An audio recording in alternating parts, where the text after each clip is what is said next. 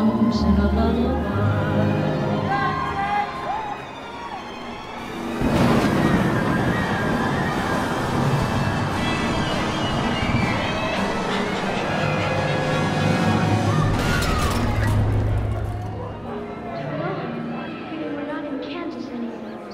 I, why would I count the birth